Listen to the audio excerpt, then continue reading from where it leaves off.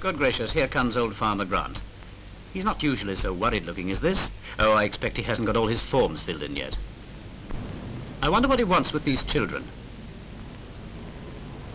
What's he saying? Aye, and you older folk too. Come here a minute. This year, we Scottish farmers and fruit growers will need more help than ever from you townsfolk for the harvests.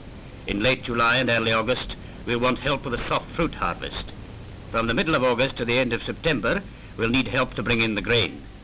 In October and November, we'll need all the help we can get for the potato lifting. We'll need some 80,000 extra pair of hands in all. So come and help us for a week, a month if you can. You'll be paid for your work. Your travelling fares in Scotland are paid too, and board and lodging are arranged at farms and hostels. Well, that's a fine healthy job that'll do them all a world of good, especially the children. They'd be well looked after. Their school teachers have full particulars. And don't forget, it means a bit of extra pocket money.